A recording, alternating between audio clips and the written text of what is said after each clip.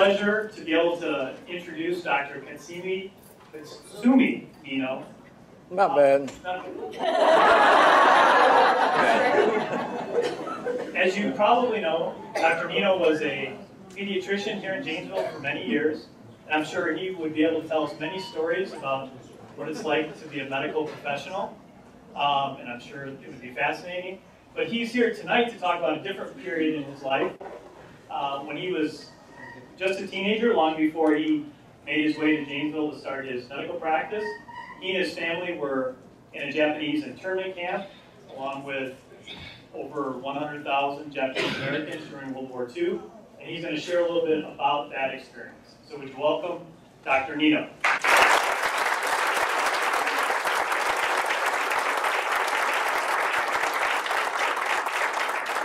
I'm here to talk about the incarceration, imprisonment of 120,000 Japanese based solely on the ethnicity.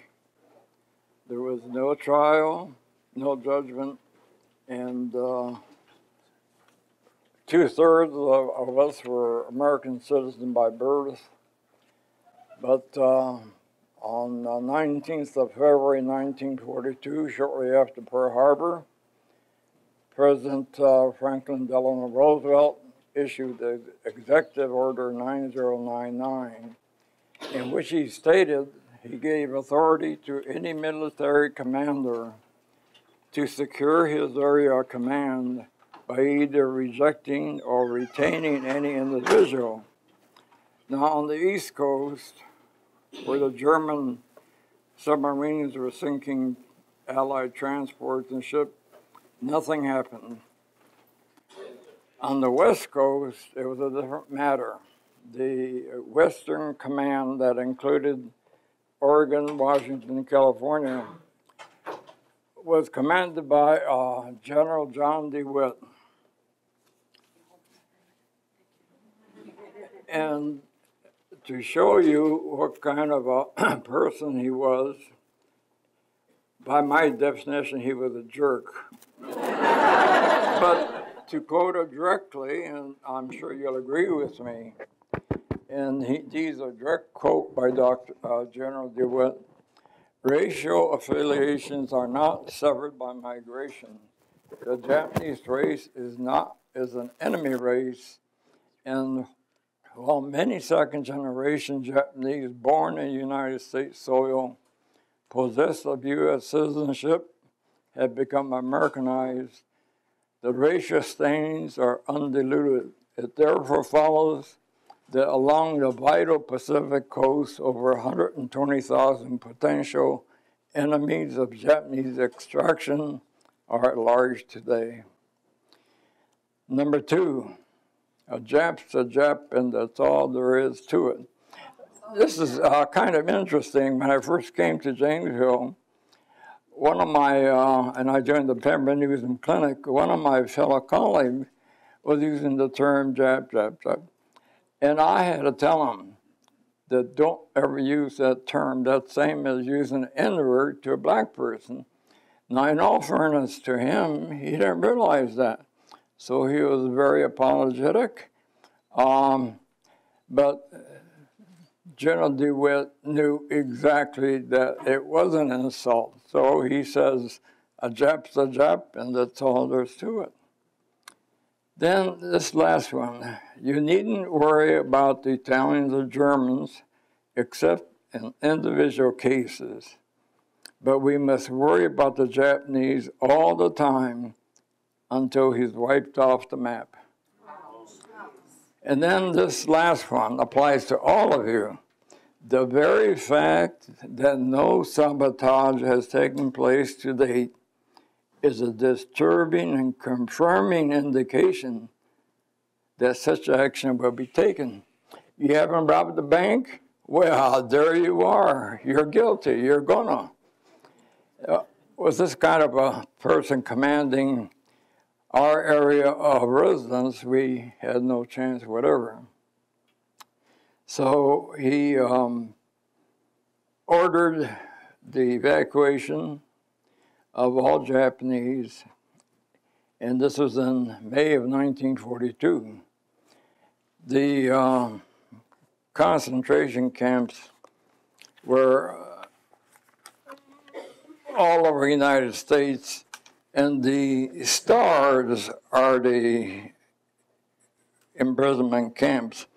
I was assigned to Poston right on the border of California, Arizona, uh, just south of what is now Havasu City. And uh, there was a, a business problem. Everyone knew when the government would come after us. So my dad owned the restaurant, and the buyers all waited to the last minute. And uh, at the last minute, it was a take it or leave it proposition.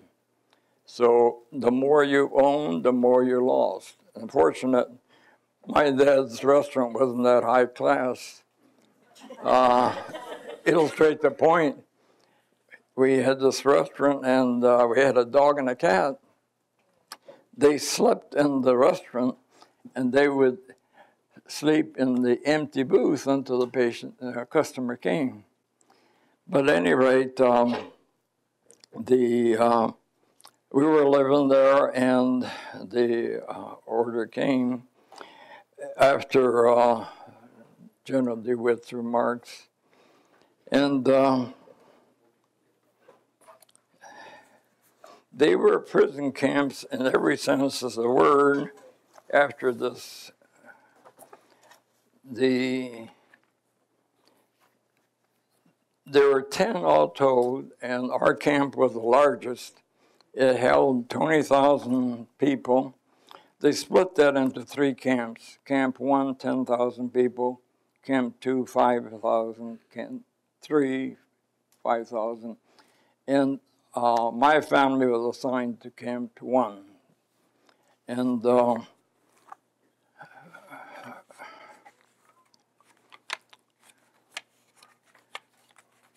the day of uh, evacuation, the order came to be at a certain place, each community, and uh, we were allowed to take only a suitcase. Oh, heck, my daughter can't even go on a sleep in on a weekend with just a suitcase. but this is all we can take for the duration. The remainder of our um, possessions were put into a Japanese American Methodist church, which the vandals burned down while we were gone. The uh, military police came with their rifle and bayonet ready and prodded us into the buses, and off we went to the camp. The uh, camp were made up of barracks, and anyone in the Army will recognize immediately this is exactly the same. And uh, 20 feet wide and uh, 120 feet long. They compartmentalized the barracks into 20 by 20 sections. And you had to have over five people in a family before the government will allow you more space. So in our family, it consisted of my parents, my sister, my brother. And uh, we got there, and were um, mattress covers, pile of straw. We were told to stuff the straw into the mattress cover, and that'll be our mattress for the duration. The um,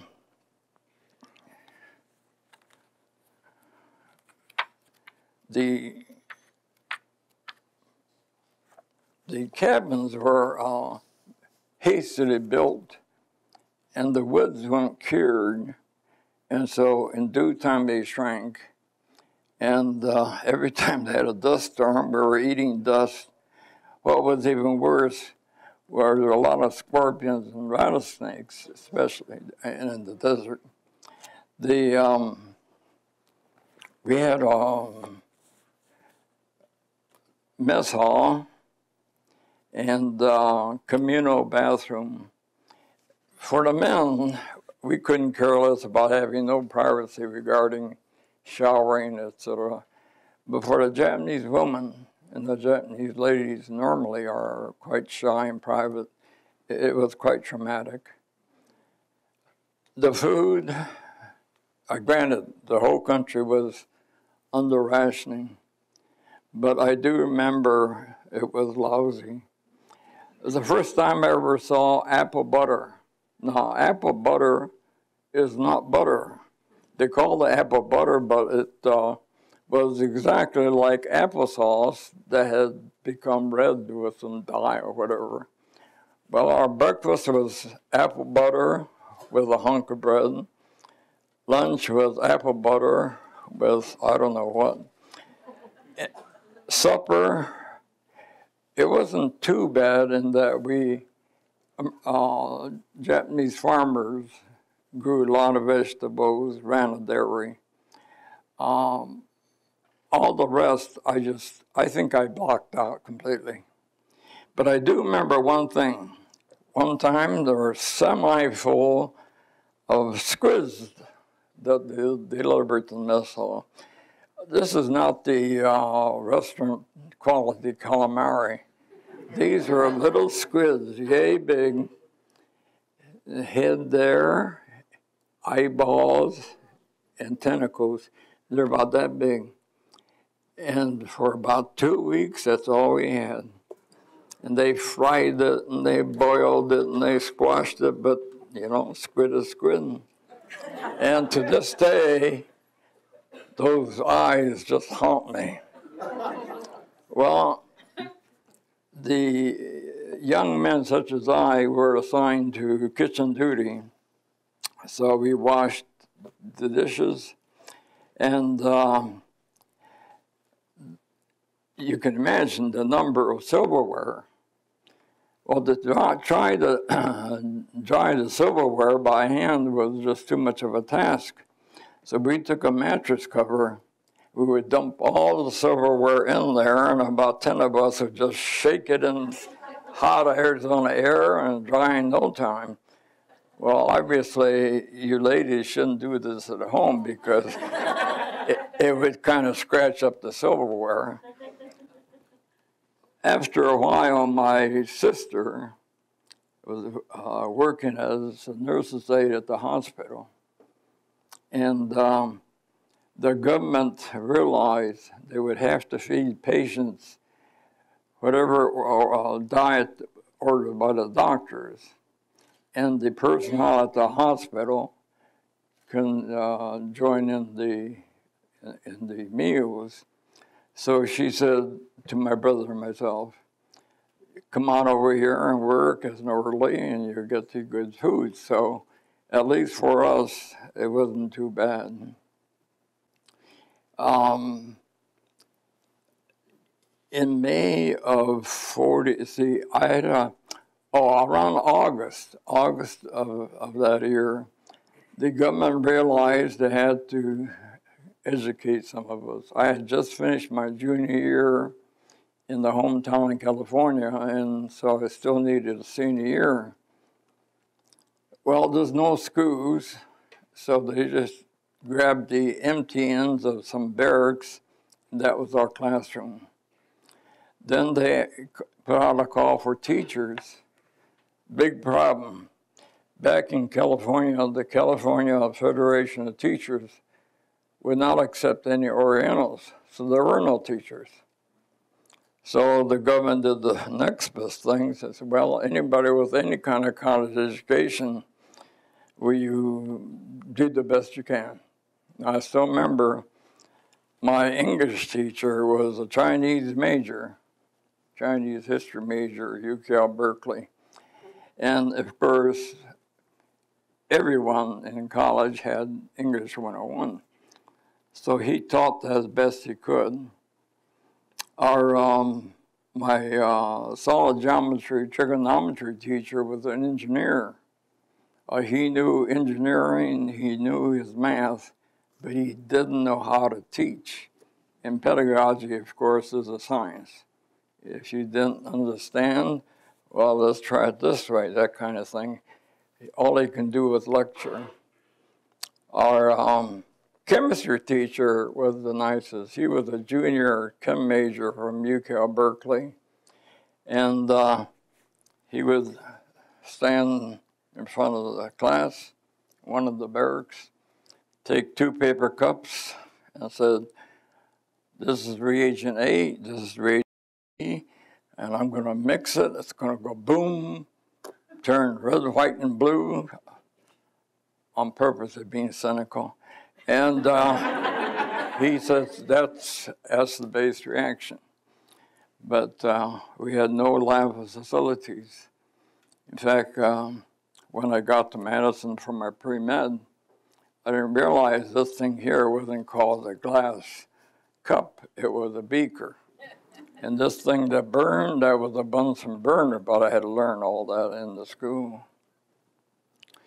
The um, with the start of the war, President Roosevelt took away our citizenship, and um, he couldn't call us aliens. We weren't. We were American-born citizens.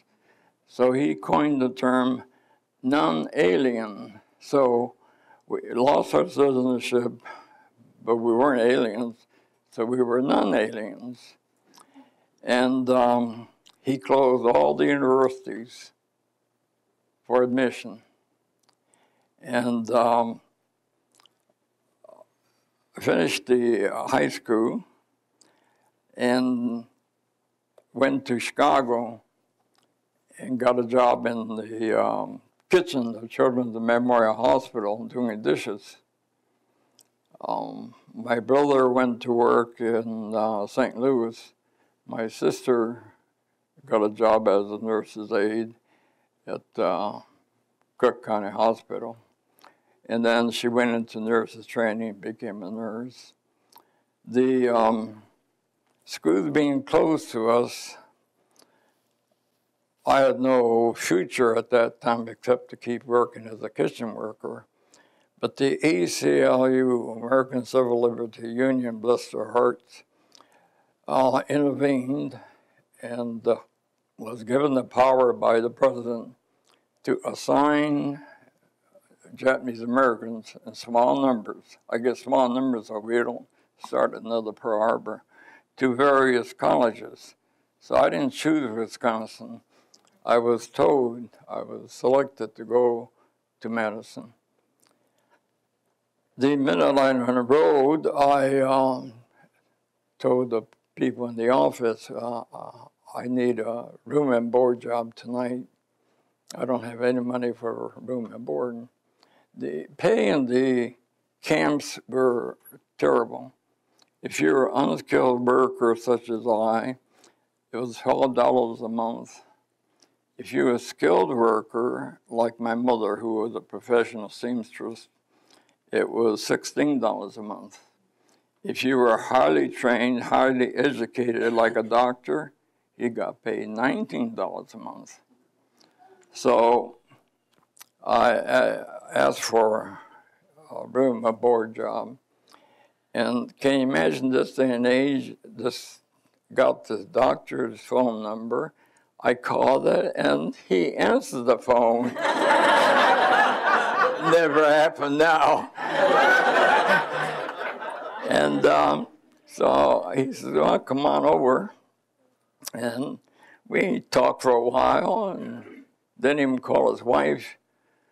Took me home and told his wife, this is our new houseboy. And they treated me just wonderfully just part of the family. I did scout work to be sure, but I was able to eat in the dining room with the family. They had a living maid.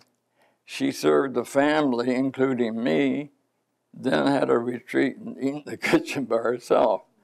So uh, the uh, this is Dr. Arnold Jackson was his name, and they did treat me very well. The um, there was no problem with the university. Um, I, in fact, um, after I left camp and came into a, a Caucasian world, if you will, uh, no one ever hassled me. You know, even as an Oriental, I can't tell a Japanese from a Korean from a Chinese. And no one ever asked me which racial group I belonged to. If they had, then it would have been an entree for me to say, yes, I'm Japanese. I, I suffered all this. No one asked, no one cared. Oh, uh, I, I shouldn't say no one cared. And all through my practice days, 42 years, um, I, I don't recall anyone ever asking me my race. And I think that just shows the goodness of the people of Wisconsin. The um, going back to the camp life, we were uh, in these uh, barracks, and um, it's pretty monotonous working, going to school. But I do remember two things that was kind of funny. Um, what happened in getting the, making the camp, the U.S. Army wanted to get some land um, that belonged to the Colorado River Indian. That is a conglomeration of about five tribes, Navajos being most prominent. And they asked this group called the Colorado River Indians to sell them 20,000 acres to build the land. The Indians absolutely refused. They said, We will not participate in, in further discrimination to a minority group, hearts. Well, the Army said, Well, no problem. When we took all the land up to here, we just take Indians 20,000 more acres and uh, build a camp. So that's where the camp was built. There's irony there too. In the camp, we had modern toilet facilities, electricity, all this. And the poor Indian tribes had none of that. No electricity. They had no school system. They had to send their kids to boarding schools for a whole week and they can come back only on the weekends. So, ironically, we were better off being in prison than the poor native Indians. The uh, camp life was uh, pretty monotonous. The other thing was um, uh, two things. We started to play sports with the Indians on the reservation and both um, baseball and um, basketball.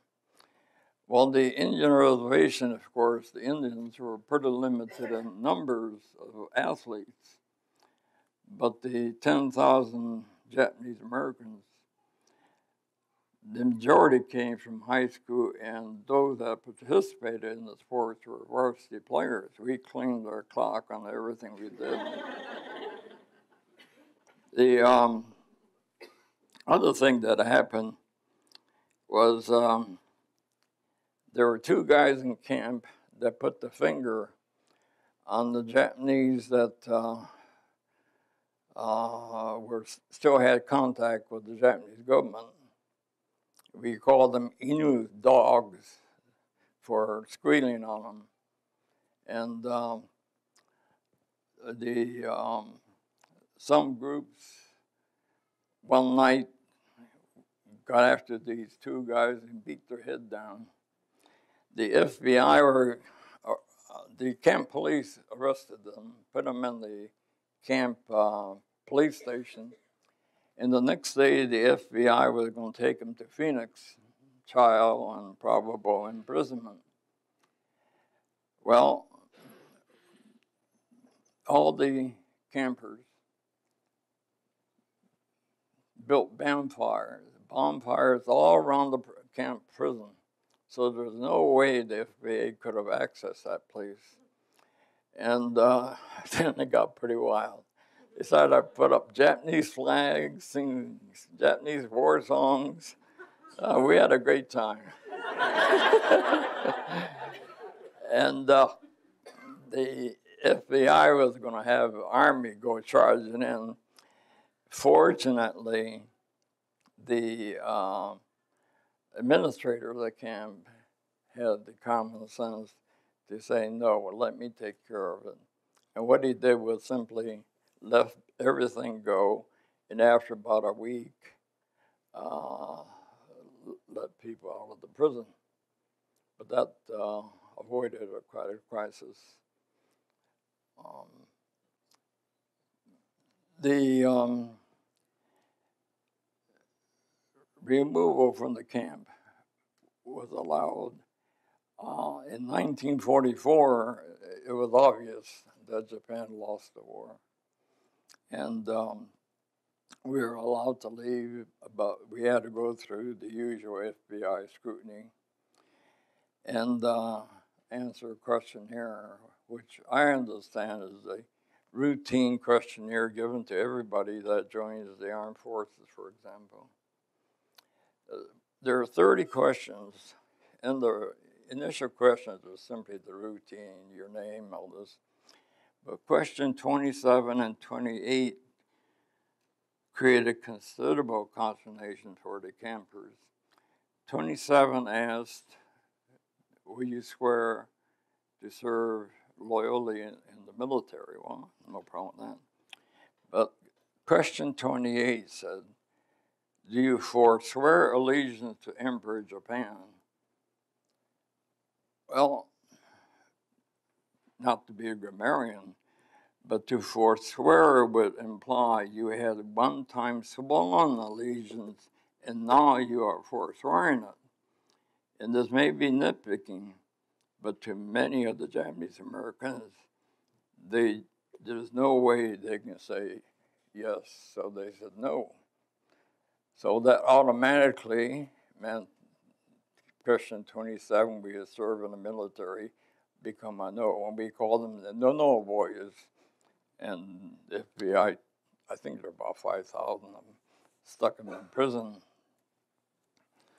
The um, camp life wasn't bad at all. Uh, there wasn't much to do, but here I'm very grateful for being raised in a Japanese family the Japanese family puts great value upon uh, behaving well and education and uh, respect of authority. So there was really uh, no great problems in any of the assembly uh, in our camps except on this one occasion. The um, we I left camp in um, it would be well I'll go back a bit. So in August they had to start teachers, teach school. Put on a put on a call for teachers. There weren't any. And back in California, the uh, Japanese couldn't become teachers because of the California Federation of Teachers. And they made do with whoever they could. But doggone it, it was still good enough for me to get into Madison, do well enough in pre-med and go on to med school. By the time I hit the med school, and I went to uh, Drexel University in Philadelphia, um, there was no discrimination, prejudice. What was interesting, this is in Philadelphia, and I ran into a lot of Jewish kids. And they were so sympathetic. After all, we were put into prison, but when you take the whole history of the Jewish people, the diaspora of the Jewish people scattered all over against their will, uh, obviously ours is just a walk in the park but they're so sympathetic, the nicest guys in the world. After I finished medical school, I came back to Madison for my internship. And uh, it was at the Methodist Hospital, which is now Meriter. And there's uh, nobody that's more cocky than a kid out of middle school. He knows everything. so the first day I meet the head nurse of this floor, who obviously knows better, and uh, we argue every day. For example, the chief surgeon says he did a surgery on a guy that had clamps on, and he told me to take the clamps off. So I go on the floor and look for the head nurse, that's my wife, and said, Dr. Jackson said, take the clips off. So give me the clip remover. So she gives it to me. And I take it off, I'm down to the last clip. And she says quietly, Dr. Jackson always takes off every other clip the la- first day. Well, thanks for telling me. but I showed her, I left that last clip into the next day. The, um,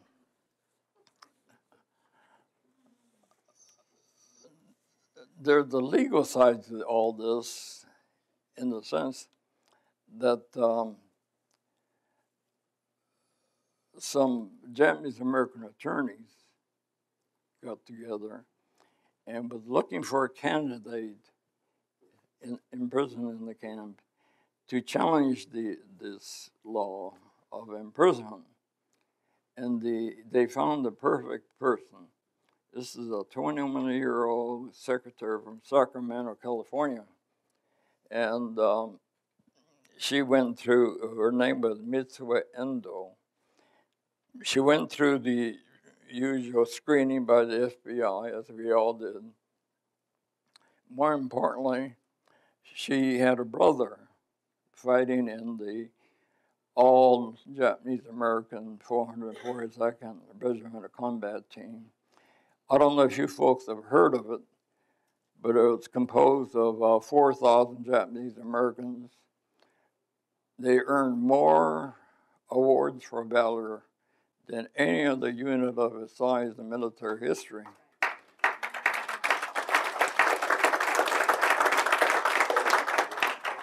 That included 21 Congressional Medal of Honor, but Congress refused them. Then, if you remember, when uh, President Clinton was at the White House, he made up for everything. He invited all the recipients, and if they had already gone, their relatives to the White House and gave him the Medal of Honor.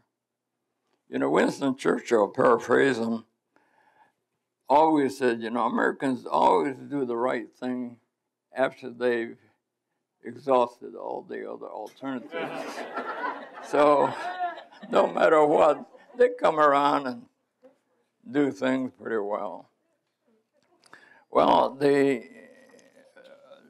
the uh, court hearing was interesting in that um, they agreed that the uh, evacuation was uh, what they call military expediency. And that was a great word to use for excuse anything. Military expediency made it necessary for us to be in camps. Um, prior to going to the camp, they put on the 8 o'clock curfew on us. Um, limited our movement to five miles radius from home, and um, um, took away the bank account of any alien and um, liquor license of any alien. And my dad ran a restaurant, and you can't run a restaurant without a lic- uh, liquor license. So um, uh, we just sat there, and uh, in due time, the um, imprisonment occurred. it, it wasn't the war that precipitated the evacuation. The discrimination prejudice against the Orientals, of course, goes way back to day one.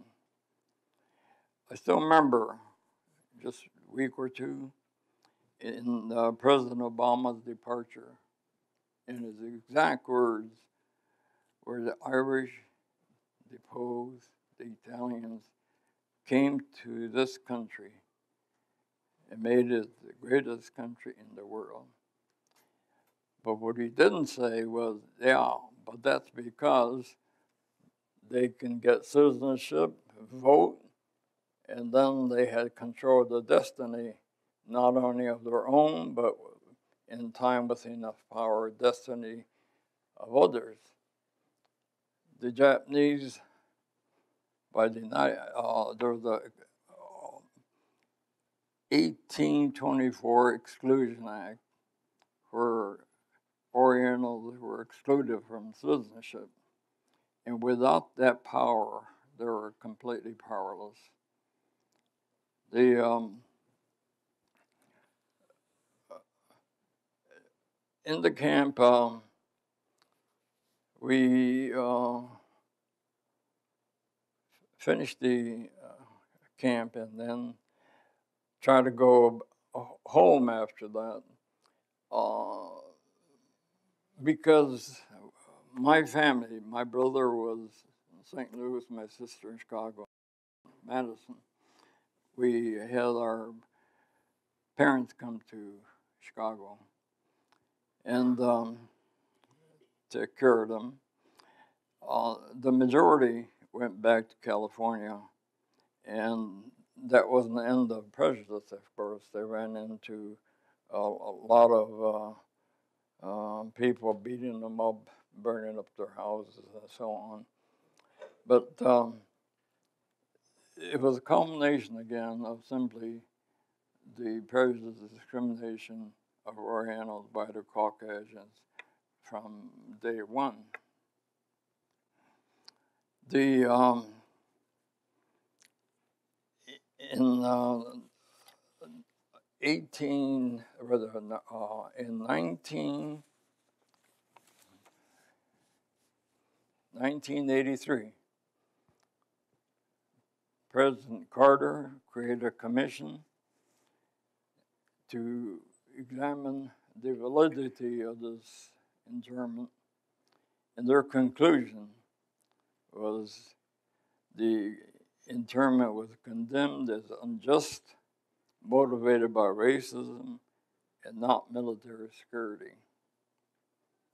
In 1988, President Reagan signed legislation for a redress of $20,000 tax free. So I used to go around telling my white friends, for another $20,000 tax free, you can kick me anytime. But no one ever took me up on that. and then in 1020, President Bush sent each of us a letter of apology. And um, there was one incident here which is, I think, quite important. And this is uh, very recent. This is from the Chicago Tribune, dated uh, May 26, 2011.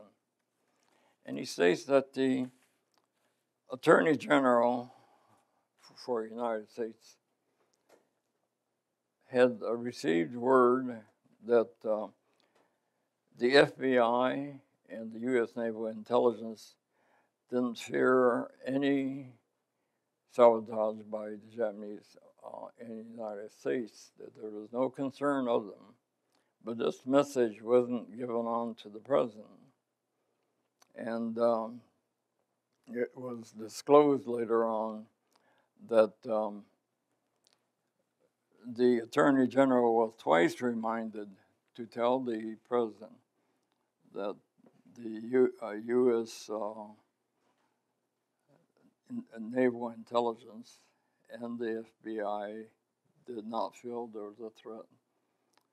And it was all this was uh, revealed only uh, by the attorney general at that time of in May 21. The uh, in conclusion, I would say that this is still the greatest country in the world, and uh, I have no regrets. If you have any questions, I'd like to take them. What was the process of getting out of the camps? Pardon? What was the procedure to get out of the camps, Dad? Could you just walk out? No, um, you had to uh, write a, um, a form, and uh, the form consisted of 30 questions. And the usual top of name, uh, place of birth, yak, yak, yak. But question 27 and question 28 um, was a real concern. The question 27 simply asked, Will you serve in the military? No problem. Question 28 says, Do you forswear any allegiance to the Emperor of Japan? And many of the thoughtful Japanese Americans said no, because we never swore allegiance to the Emperor of Japan. If you had never sworn allegiance, how can you forswear allegiance? So they put down no, no, and we called them the no, no boys. And um, it wasn't fair, but they were sent to present base on that. When my time came, I said, yes, yes, yes, give me any old form, and it, yes, yes, yes. Man, I'm I'm out of here. I'm a former school teacher, and um, I always have two questions, but first of all, you never talked about your military experience. My next two questions what's the best thing that ever happened to you, what is the worst thing that ever happened to you? The, the military, um, at the start of the war, President Roosevelt made all of us enemy aliens.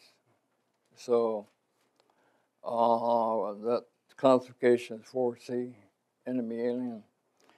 Then as the war went on, there was a need for interpreters in the Pacific area of combat. And uh, the natural reservoir of Japanese speaking uh, Americans would be us. So um, we actually have recruiting teams come to a prison camp and try to recruit us. So we asked them if we joined the army right out of this here prison camp, will our parents be able to come out? And they said no. Okay. And then we said, uh, can we join anything, you know, Navy, Army? Answer was no. They didn't realize, but that was a backward favor because the only Army unit we can join was what turned out to be the 442nd Regiment of Combat Team made up of nothing but Japanese Americans, and they won more awards for valor than any military unit of its size. So, um, uh, uh, lost my train of thought. Oh, the worst thing, you know, I was 17 years old when this happened. And uh, as a typical 17 year old, what do you worry about? Nothing. What do you care about? Nothing. So, I wherever my parents went, good enough for me. That was home. And um, um, was that the worst one or the good one? uh, good thing out of it, well, I, I can't think of. Well, I suppose the good thing was that it took us out of the West Coast and um, at least speaking for myself, and come into a community where you're a minority to be sure, but Wisconsin is the best people in the world. That's a good part. What was your job in the military? What was your job in the military? Pardon? What was your job? Oh, oh, oh. Um, during the war, I was uh, 4F. Without my glasses, I couldn't even see the E sign. So I was 4F. And then um, after the war, uh, they let up on the physical requirements. So um, the GI Bill of Rights was coming to an end in 46. So I volunteered because I wanted to get the advantage of the GI Bill of Rights. Now, having spoken Japanese, I would make a good interpreter. Or having had pre-med medicine, and I used to work at the hospital laboratory, I would have made a medic. And at Wisdom of the Army, they made me a company clerk. And good thing because I live in the small town of Brawley in the desert of Southern Cal. 1939, I was a freshman, and every freshman had to take typing. Mm-hmm. And it's so prophetic and by accident foresighted because that's exactly the keyboard of a computer. So that's a good thing that occurred to me.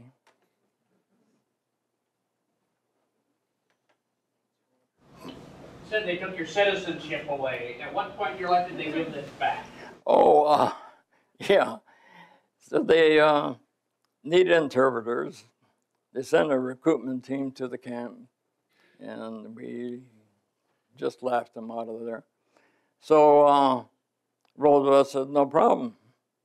You have gotten your citizenship back. You're one A."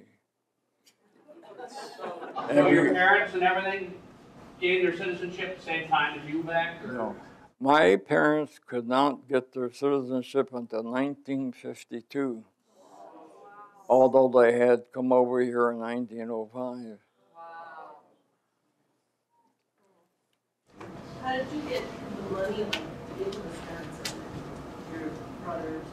You know, this is where I'm eternally grateful for my parents, despite that small pay they got. I'm sure by just denying themselves completely, they always were able to get enough money to pay tuition for the three of us. Wow. But did your father lose the restaurant then? Oh, sure. It was a fire sale. They knew when we had to leave. Wait at the last day. It was a take or leave it proposition, and that was it. And um, our losses were rather minimal because the restaurant wasn't all that big a deal. But there were some very wealthy Japanese businessmen that lost everything. I think we have a question back here. Actually, two. One would be, while you were interned, would you have said that America was the greatest country in the world?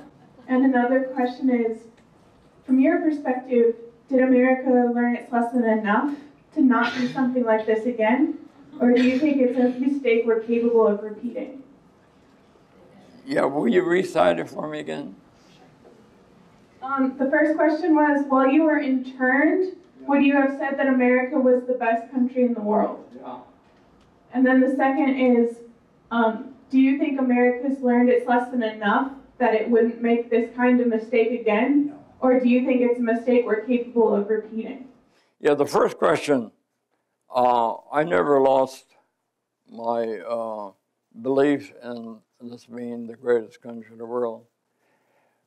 Imagine how the Germans might have treated us, or even the Japanese. And uh, so, despite imprisonment, still the greatest country in the world. And uh, could this happen again? Oh, sure. I think that we humans always have a sense of cruelty against someone else, and it certainly can happen anytime. There's nothing in the laws that will expressly forbid it.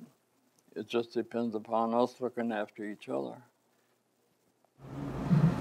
When you came, when your folks came and you were born, did they teach you the language? That, that, that was, we spoke Japanese at home, of course, so that was my initial language. I learned English in school. And um, uh, my mother believed in ed- education beyond the grammar school.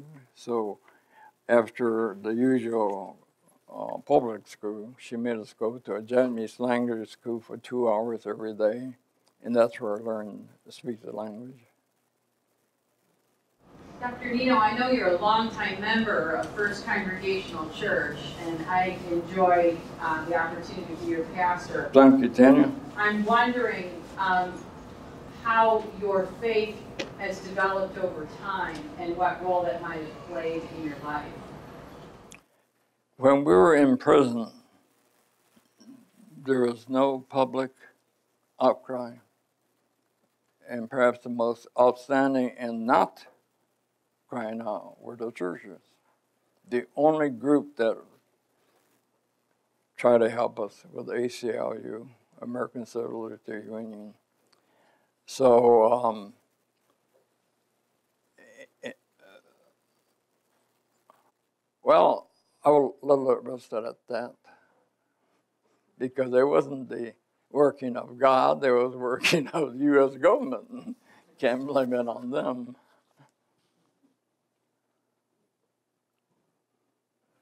Any other questions? I wonder how many people here have had you in some form as a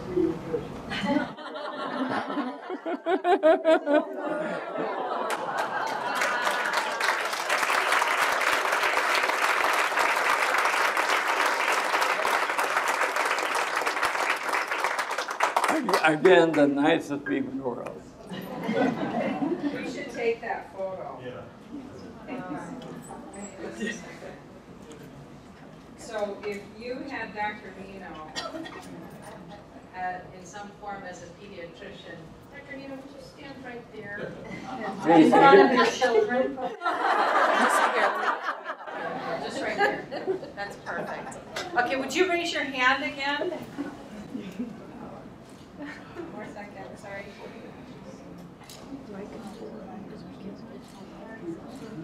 That's pretty amazing.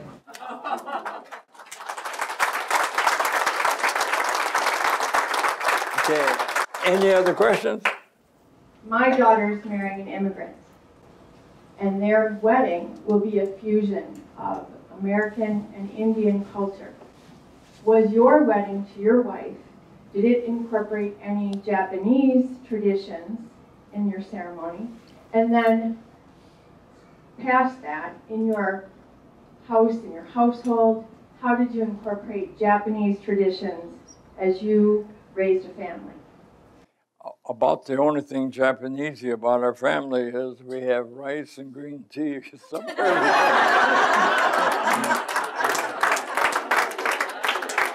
and then uh, regarding uh, raising our children, uh, that was the one place where disagreed. Uh, I'm very Japanesey, is very strict, and uh, and bless my heart for my wife because she is so kind and sweet and understanding. I think my kids would all jumped off the cliff without her. Can we meet your wife, Dr. Neeno? Can you have her come forward? Yeah.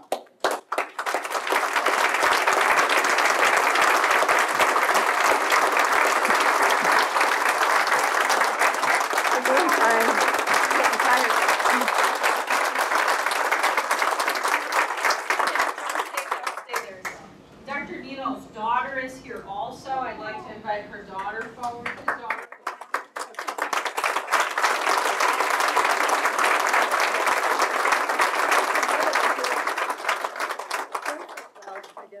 ask you a question, Dr. You know, at the time that your parents uh, came over from Japan to the United States, was there any family that remained in Japan, and were they there during the war?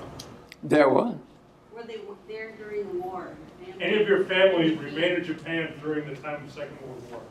Any of your parents' family members? Oh, yeah. In fact, other than an uncle in LA, all my relatives live in Japan. Did they all survive through the war? Yeah. Yeah, the majority made it. Did any of them live, our relatives live today, or did they all come to the And, and um, as an interpreter, I was assigned to MacArthur, so I had a chance to visit all my relatives.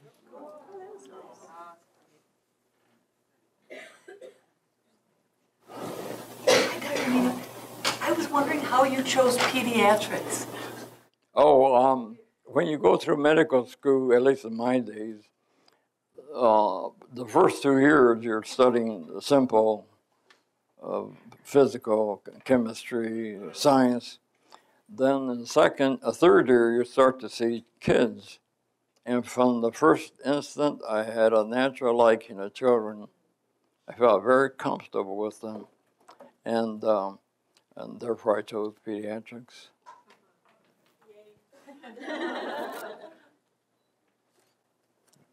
Well, thank you very much for your attendance. I appreciate it greatly.